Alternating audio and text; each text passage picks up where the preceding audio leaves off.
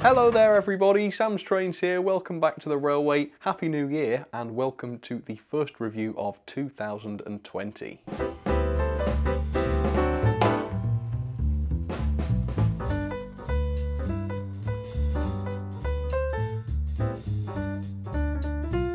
So welcome back folks, I hope you're all raring to go, ready to see some amazing models this year. I'm definitely ready to go, so let's get to it.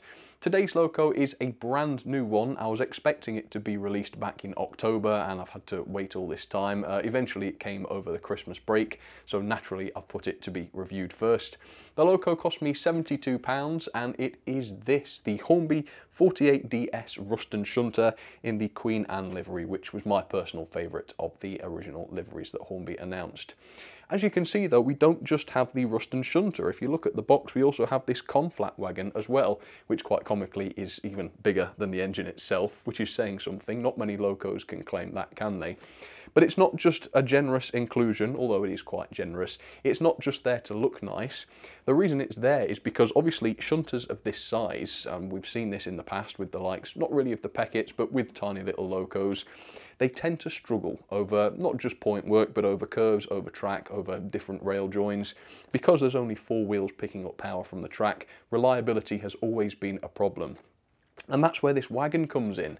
This wagon also picks up power as well as the loco, which hopefully will mean that we can wave goodbye to all those reliability issues. Hopefully it means that this will run perfectly even over the most challenging pieces of track, for example, the Insulfrog express points, I guess. Now I do have a few questions about these. First of all, can you disconnect the wagon? Because obviously if you've just got this wagon at the front of the train all the time, it's going to be a bit samey, you can't be creative really, it might affect your shunting. And if you can get rid of it nice and easily, how does the loco run on its own? That would be very interesting. And I suppose an extension of that, is this the start of something new? Are we going to see more pickups inside rolling stock? Maybe one day will our locos not have pickups on them anymore? Will there be a standard electrical coupling which will allow us to connect all sorts of rolling stock together and have pickups on every wheel? Well, maybe. It'd be very interesting to see how they've done it. And it will be interesting to see how they've done this wagon as well. Is it going to have pickups going to each wheel? Is it going to have pickups through the bearings, which will reduce the friction? Is it going to have pickups just going to the axles to reduce the building costs? How have they done this? Well, I'm now waffling on, so let's get this out. Let's see what it's like. I've not had my hands on one of these up until now, so let's get this out for the very first time and find out together. Okay, give it a try. So let's take a look at the packaging then. I must say, first of all, I wasn't expecting the box to be as large as this. I mean, it makes sense, obviously, the wagon will add some length to it. But nonetheless, I was surprised when this came and the box was so big. It's not really an important issue though, is it? Uh, the other thing that I can notice, even from the image on the front of the box, is that the wire connecting the shunter and the wagon is a little bit messy. I can see that they haven't tried to incorporate it into the drawbar or something like that, which is a little bit of a shame. And I did notice that with the uh, review samples, uh, not review samples, with the you know the painted samples that Hornby posted online. They did look a little bit dodgy on those as well, so it doesn't seem as though Hornby have done something really innovative with that uh, electrical connection, but we'll see how it goes either way. So if I show you the end of the box, you can see the product code here, which is R3707. It's the Ruston and Hornsby. Uh, no, that's not supposed to say Hornby, although it's supposed, I suppose it does look a bit like a, a misspelling. It's a 48DS and flatbed wagon, Longmorn Distillery. And that's basically all there is to see. If I flip the box over, you can see this is uh, 48 horsepower. Is that, does that mean horsepower? I'm guessing so. Anyway, that's what it is. There's a brief history of the shunters. If you'd like to pause and read that, feel free to, although I will tell you a little bit about them later on. And then on the far side here, on the right hand side, you've got some diagrams that Hornby drew, presumably, to help them make the model, as always, dated 2018. So yeah, two years ago now, crikey. It just shows you how long these things take to produce, doesn't it? Anyway, shall we uh, get this out then? Stop messing about and see what this is actually like. Uh, really, really looking forward to this actually. So, I, did I actually take, I don't think I actually took the cover off this box when, I, when it first arrived actually. Oh my gosh, wow. I mean, you can kind of get a sense of how tiny the shunter is compared with the wagon on the box, that's true. But look how small it is. I still wasn't expecting it to be that tiny. Now, it's clear to see why the wagon is necessary. Uh, it's a very good thing that they've included that, otherwise I can definitely see that having trouble on the points. The distance between the driving wheels there must be the smallest I've ever seen on any model. That is incredibly small. Right, well, let's get this out. I must say it's very light though, although seeing the size of it, that shouldn't be a big surprise, should it? Right, let's grab this out. Man, the Hornby packaging looking particularly glossy this year. Okay, so we've got a little ticket here. What does it say? 48DS body removal. Okay, let's see what this says. Uh, you need to ensure that the front and rear sockets are pushed into the chassis before attempting to remove the body. Hmm, that sounds interesting. Well, I might have to give that a try at some point then, although that fills me with dread. I prefer a couple of screws if that's all right. Uh, then here we have the operating and maintenance instructions for the 48DS and flatbed wagon. Let's take a look inside. There we go. Oh yes, it's reasonably basic stuff. Lubrication, oh body removal. It seems there are screws. Eh? I wonder if that was to do with the couplings then. I don't know. We'll figure it out, won't we? Uh, there's a little shot there of the insides. Looks a bit similar really to the Peckett mechanism, I suppose.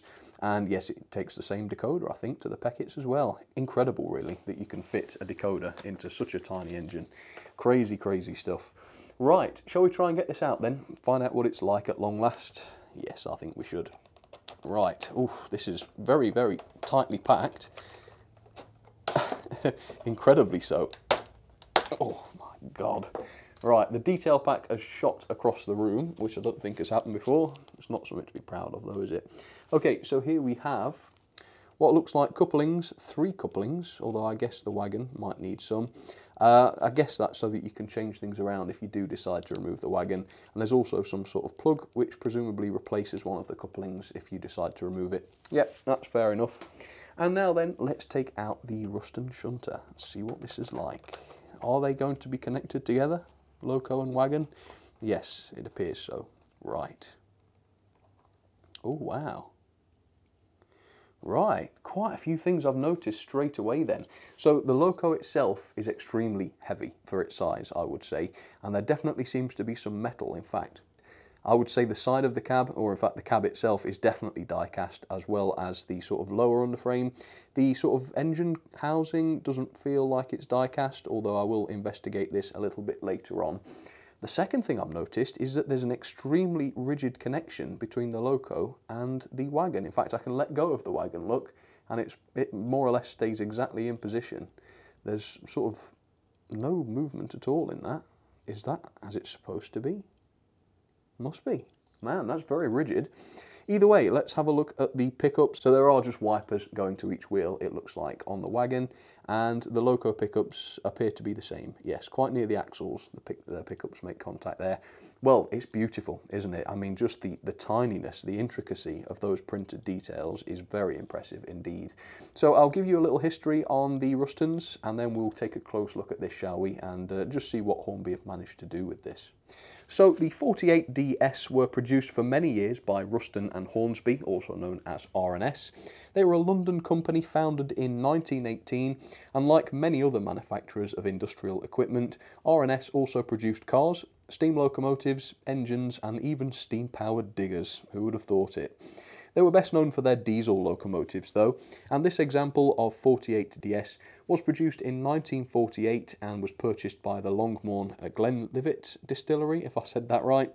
The 48DS was a development of their very first standard gauge locomotive, and in fact, over the years, the type changed and evolved so much so that the wheels, the cabs, the engines, and loads of the other details vary quite a lot between the different examples. Okay, so there she is, Queen Anne up close and personal for you. And yes, I mean, given the size of it, the level of detail and certainly the painted detail looks to be really, really excellent. But we'll get onto all of that in just a second. I want to address, first of all, my major gripe with this that I've seen so far, and that is the wiring. It looks a state, and it's also pretty dodgy as well. So yeah, as you can see, it looks even worse than it did on the box, cunningly enough. Uh, yeah, as you can see from the wide shot there, very, very messy wiring under there. I have to be honest, it doesn't bother me too much because, let's face it, if I'd done it, it would look an awful lot worse. But obviously for those who are trying to run an incredibly realistic layout, not like mine, I can see that being a bit of a problem. One thing that everybody should care about though is dodgy wiring and poor soldering. So if we look underneath, particularly on the wagon side, you can see that there's no sleeving, or rather the sleeving ends too soon on the wires, which means that you've actually got bare copper sticking out there, the two wires bare copper exposed, which means if they touch together, if they were to touch together during running, you would short out your controller and you would have the full current of that controller running through those tiny wires. What an interesting idea that is. And also, yeah, the soldering is really bad. We've got bits of wire sticking out there at that end. The design of the connection between the loco and wagon is really, really poor, and you can tell that Hornby don't do this very often because it's really bad. Yeah, a bit more ingenuity really with the connection between the, I keep wanting to say loco and tender, between the loco and the wagon. One thing that is quite good though, I've noticed there is a plug in the front of the loco as well. So if you wanted to pull with the cab first and put the wagon on the front of the engine, you absolutely could do that. So I've got to be fair and say that's pretty good. Besides that though, the quality doesn't leave too much to be desired really. As I've already said, the Loco is pretty decent. It's got a lot of diecast on it. The Loco and wagon together weigh 100 grams, and I'm going to be talking about the weight and the pulling force and all of that stuff with the Loco and the wagon together, because it looks as though you're only going to get decent performance out of this with the wagon coupled, but we'll test that later on. 100 grams though isn't too bad really, is it? Especially for a Loco of this size. I mean, don't forget this is an absolutely minuscule little Loco, and once again the level of diecast is pretty good. I'm pretty sure that these plates on the side of the sort of engine cover are, uh, well at least etched anyway. They feel very, very cold to the touch and just look at the quality of the printing on there. I can fault the wiring quality, but the printing quality cannot be faulted. Look at that, fantastic. Established uh, 17 something on there. I'm, I'm pretty sure it's legible, I'm just too far away. And the same goes for the side of the cab really, you've got more printed detail. In fact, that one's even tinier. Some of the text on there is really, really tiny. And of course the whole thing is covered in this gorgeous sort of yellow creamy lining which just looks beautiful. Look, even the wheels are lined and the lining is top notch, even on the wheels in fact it's top notch. Really, really well done. And it must be said that I love the sort of kind of chocolatey colour, isn't it? I mean, I would call this champagne maybe, the sort of creamy colour. It's just unusual, isn't it? It's completely unlike anything I've seen before. The end looks pretty good. As you can see, you've got this reasonable looking grill. I don't think it's etched or anything like that. I would assume it's plastic, uh, but it looks reasonably convincing, I would say. And then the buffer beams are okay looking. You've got that sort of filler plug there, which is, I think, where the front coupling would go. You'd take that out and put the front coupling in if you wanted to pull from the front. You've got the buffers, which are nicely painted, but alas, not sprung as far as I can tell. I assume they would be sprung in real life, so that's a little bit of a shame, but not a huge complaint really. As you can see around the cab, we have got glazed windows as well as what's presumably, is that an exhaust perhaps? Probably, and little lights on the front and on the back as well, by the way, but the lights are not LED powered or anything like that, which I suppose is fair enough for the money. As I say, I paid £72 for this. Uh, the RRP was 79 I think. I would say it would be reasonable to deduct about £15 for the wagon. You'd normally pay about £12 for a wagon like that, wouldn't you? Except this has got all the electric stuff inside it, even though it's rubbish. Um, it has got value, hasn't it? So I would call 15 quid for the wagon, which leaves us at about £57 for the Loco itself, which I don't think is too bad, although it is pretty tiny. There are, however, one or two cost-cutting measures. I would say the cab is a little bit on the unconvincing side, particularly with the glazing, because instead of having individually glazed windows, there is just a glazing plate which fits into the backside of the windows and covers two windows at a time, which looks a little bit unrealistic, but it does cut down production costs, I assume, because it's so much easier to fit than the individual glazing. Inside the cab's relatively basic, there's nothing I can see inside there that's painted, however there are one or two moulded details inside there, little controls and that. Uh, I will try and get a good look at that at some point, uh, but as far as I can tell from here, it doesn't look absolutely amazing, but it's certainly not bad either. So for the most part, the painted detail is absolutely incredible. There's not an awful lot to talk about in terms of the detail and separately fitted parts, probably because the nature of the prototype means that it's relatively simple. However, that's not to say there isn't a degree of detail on this this. I mean, there are some nice little separately fitted parts. You've got these little metal rings here.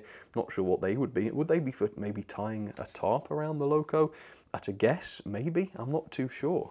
And you've also got these very, very tiny handrails on the sides of the cabs there, so it's definitely not true to say that there are no fine details on this loco. But it looks the part, doesn't it? And it's pretty unusual looking. I will give you a quick look at the wagon, but at the end of the day, it's just a wagon. It's not an awful big talking point, is it?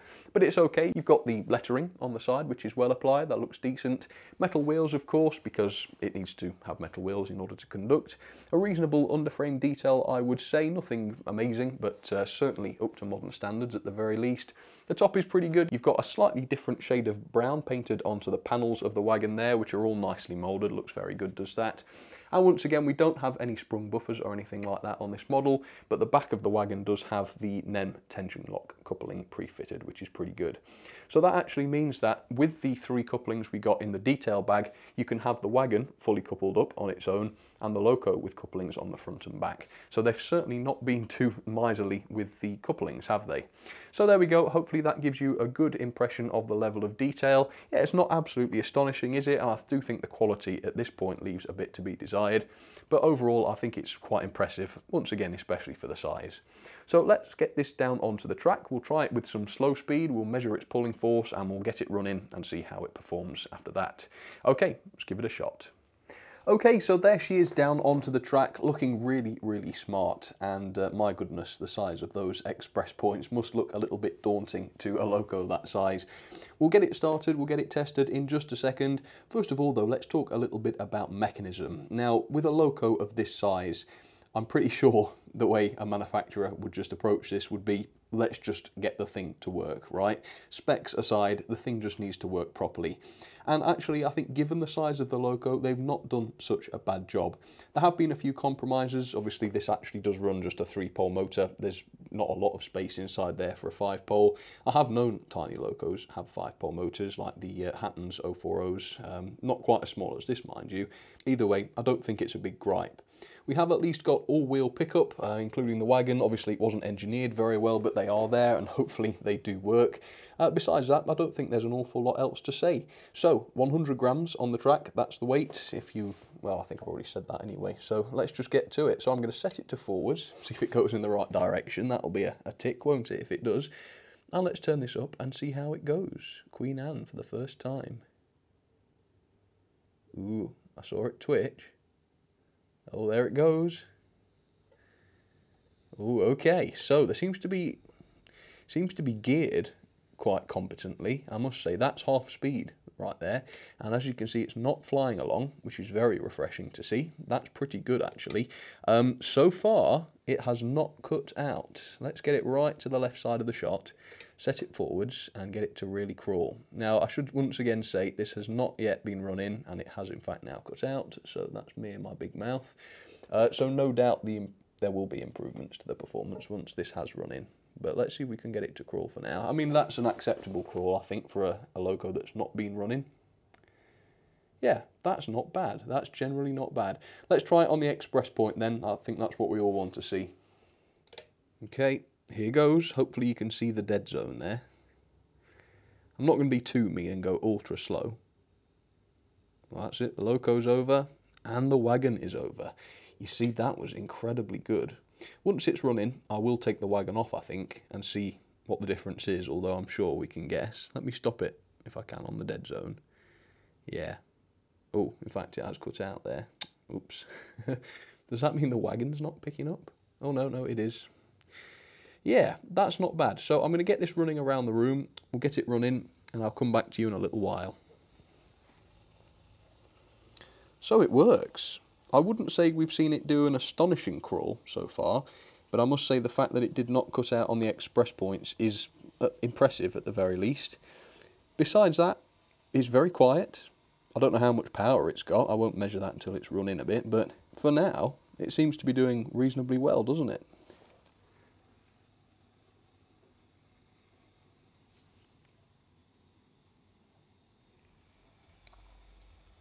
Yep, it's good. I like it, very much so. So I will leave this running for, well, let's give it, say, 20 minutes in each direction, and we'll see how it goes after that. So I'll be back with you very, very shortly. Okay, so there you have it. Running in has concluded, and I must say it was very, very issue free. Never derailed, never stopped on the points, a perfect performer, reasonably smooth. I have seen a little bit of lurching. It's not the smoothest I've ever seen, but I certainly wouldn't complain about it, that's for sure. So I also measured a pulling force of 0.08 newtons, which actually for the size of the thing is pretty good. And I'll talk a little bit more about what that means in sort of layman's terms a little bit later on. But let's find out whether a little bit of running in has actually improved the performance at all. Let's see if that crawl is any better. So turn the power up very slowly and let's see. So that is incredibly slow. Is that? Mm, I can't tell if it is or not. Yeah, that is really quite good. That is a good crawl. I think I've seen a better crawl. It's a little bit jumpy, isn't it? But for a three-pole motor, that is definitely pretty good. That has gotten a lot better with running in and I would say that is a trifle smoother in reverse. So it's decent performer, yeah, not bad at all. So every test I've done so far has been with the wagon mounted. So if you want to run just the Loco on its own, your mileage may vary. But what I'm going to try and do now is remove the wagon, which frightens me very slightly, and we will see how it runs just the Loco on its own. So I'll be right back. Right, conjunction has been reversed and uh, as you can see the wagon is now separate. It's not something I'd recommend doing very often to be honest with you. The plug as you know is quite flimsy and I don't know how many times you can push in and pull out that plug uh, without causing a problem, without it failing. There's also no clear way to tell the polarity. One pin is longer than the other on the plug, um, although that varies depending on how you hold the plug, I've just noticed. Um, besides that though, yeah, it's not clearly marked, so you could get the polarity wrong in theory and cause a short circuit. Once again, why they've designed this to make it so easy to cause a short circuit, I have no idea. But uh, either way, I'm going to try and not forget how the polarity goes. Uh, the coupling was very, very stiff. It was quite difficult to get it out, uh, which is good. It means it's not going to be dropping out unnecessarily, but a steady hand is definitely required. Right, so first question, does it still work without the wagon? Indeed it does. Right. Can it still crawl without the wagon, slowly? Yes, very well, I might add. Yes, it's, it's not bad at all, actually. It's really not a bad performer. Uh, it's a tiny bit ropey. I don't know if it comes across on camera, but yeah, it's a lurches a little bit. It's not dreadfully smooth to the eye, but besides that, it's, yeah, you can't fault it really for the money. Right, express point then, let's try it. Although I don't know why I'm doing this because it's clearly not going to work. there we go. Yes, it has stopped. But that just proves really the merits of having this wagon, doesn't it, if nothing else. So I'm going to reattach this and I will show you what I've got coupled up. In fact, let me show you now. So I think that is nine wagons, including a brake van. So that's quite a lot, isn't it? Right, let's try the coupling. I'm looking forward to see if she can manage this. Here we go. Well, looks like I got the polarity right anyway, because the controller didn't blow up. Right, nice steady coupling. Yeah, that seems to have coupled. Well, has it? That's the question. Yes, it has. I have noticed that the coupling on the back uh, doesn't necessarily return to the centre. It seems to wonk to the left or right. Uh, but on that occasion, it did couple properly, so that's very good. Right, let's give it a go then. Can it manage all these? I think it's nine, well, ten really, including its, uh, its wagon with the pickups in it, which of course adds a bit of drag too. So pulling power, definitely not too shabby by any means. Okay, let me show you what else I have running alongside the lovely Rushton. I've gone with tiny vehicles, basically. Uh, they're all the same in one regard, except one. So there is an odd one out. See if you can spot which one that is. But here we have the Wickham trolley by Bachmann. Here it comes gosh, that one is tiny. I reckon this is the only loco I have that's actually smaller than the Rushton, and I shouldn't really point at that. I should point at the wagon at the back, because uh, that's actually where the motor is. Uh, so I challenge anybody to get uh, a smaller loco. I must say though, look at this. The crawl is probably a little bit better than the Rushton. Look at that. But um, yeah, either way, it's not your review, so move along. And then on the very innermost line, we have another of my uh, favourite little engines. This is a, a, tank engine, a steamer, of course. This is the Peckett W4 with a little bit of a goods train. So see which other engines you can spot. Let me know down in the comments which ones you see, and let's catch up with the Ruston and see if it's managed Gordon's Hill with those wagons. Well, I must say, it's an absolute pleasure to see such a tiny engine working so well. It's got a lot of strength, uh, I think it's smooth enough to pass, that's definitely sure. It's easily reliable enough to pass. I must say, I was a bit cynical about this when I first saw it. I thought, oh, that's going to be fun to run, isn't it? But it really actually is. It works perfectly well. And with an unexpected amount of strength, it must be said. Look at that, no slowdown whatsoever. It's a deceivingly powerful engine.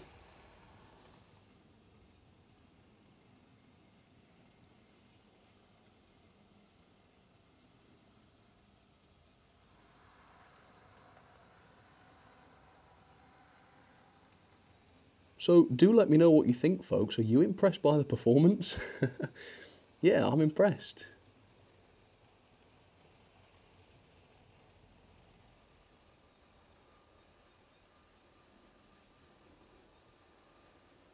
So here are some of my ratings then for the lovely Ruston 48DS shunter from Hornby.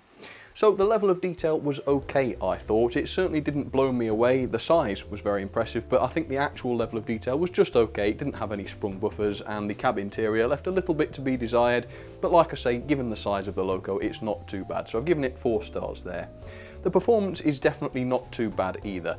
I've definitely seen locos, even tiny ones, do better crawls. However, it's reasonably quiet, reasonably powerful, and pretty smooth, very good over the points as well. Now there's a new category just there known as power in coaches, which is an odd unit. Basically, I've developed a formula that uses the pulling force in newtons of the loco, which is 0.08 with this one, as I've already said, and it also uses data from previous locos that I've collected in order to calculate the absolute maximum a loco can haul on straight and level track. So you might be thinking nine coaches seems a bit outlandish for a loco of this size, maybe his formula is wrong. Well no, as you can see just here, she is hauling nine coaches just about, as I say, it's supposed to be on straight and level track. This is not straight, this is on a curve, but you can see she just about manages that number of coaches. The reason I'm giving it to you in coaches is because most people don't really understand newtons. It's not a very useful unit. So everything is going to be in coaches this time, which everybody can understand. It should give you a good idea of what a loco can haul, and it will also let you compare between different models. So hopefully that will be a good thing for this year. Mechanism, I've given it 4 out of 5. It does only have a 3-pole motor, and as I say, some of those pickups were a little bit dodgy, although they do seem to work okay, so I've given it 4 stars there.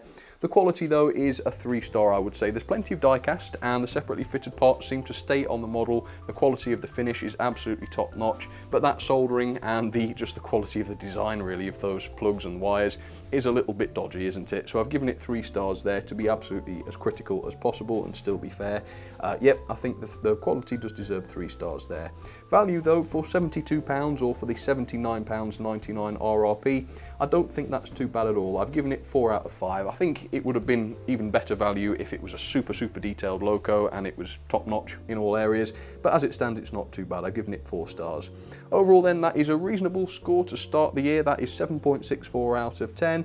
There it goes into the logbook. We're using an actual logbook this year. Uh, first, of course, because there's nothing else in there, the slate is wiped clean at the beginning of the year, but that will soon fill up with some lovely new locos. So there we go, not too bad at all.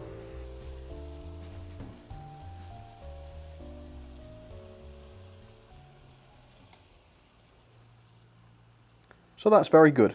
I can highly recommend this actually. If you want to pick yourself one up, I have links down in the description. Yes, I'm pleasantly surprised by that. That was an awful lot of fun. Lovely, lovely engine.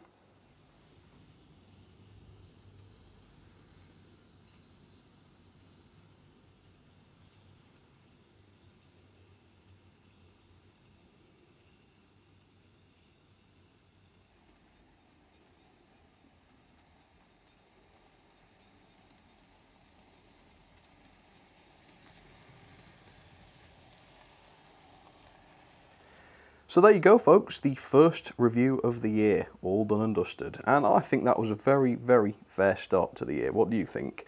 Don't forget to let me know down in the comments what you thought about the Ruston Shunter. Let me know if you've got one. In fact, you could let me know in the poll if you've got one. And if you do, let me know which version you've got. If you don't have one, let me know which version you'd like to get. That would be interesting. There have been a few more versions of these uh, announced by Hornby this year, uh, including uh, quite an interesting dairy livery, which I saw, which was quite a, a nice blue if I remember correctly, so maybe we'll be seeing some more. Let me know down below in the comments if you'd like to see some more Rustons. For now though, that's about it. Thank you for watching, hope you enjoyed all the changes I've made to the reviews and uh, hopefully I'll be a bit more polished with them once I get back into the swing of things. But for now, thanks for watching, take care of yourselves, and I'll see you next time. Cheers everybody.